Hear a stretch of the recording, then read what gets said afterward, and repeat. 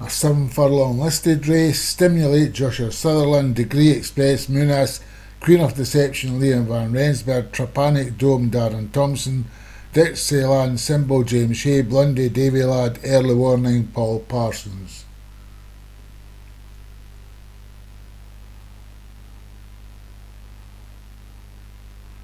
We're in the orders and they're off and running. So it looks like Degree Express is going to take them out, quickly moving out to about a three length lead.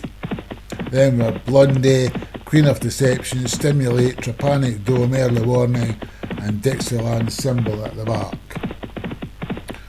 So Degree Express, three lengths in front of Blondie, Stimulate, Queen of Deception, Trapanic Dome, Early Warning, and Dixieland Symbol. Four furlongs to go, Degree Express still going along nicely in the lead.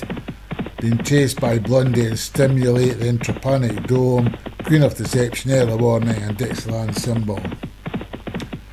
Trapanic Dome making a run up the inside rail. Maybe have to watch out not to get boxed in later on in the race. The, the, the Great Express's lead's been cut down now to about a length from Queen of Deception, Trapanic Dome and Stimulate.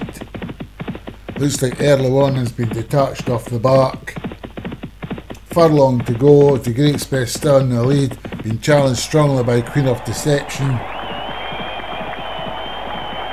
The Great Express is holding on here, half a furlong to go. Queen of Deceptions looks going to pass this leader. Oh, up the inside.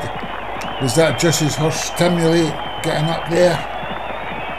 I'm not quite sure who the winner was, Stimulate or Queen of Deception.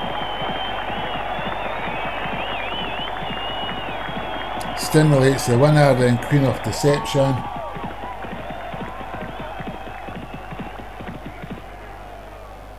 So we'll stimulate Joshua Sutherland, Queen of Deception Liam Van Rensburg, Dixieland Symbol James Shea, Degree Express Munas, Trapanic Dome Darren Thompson.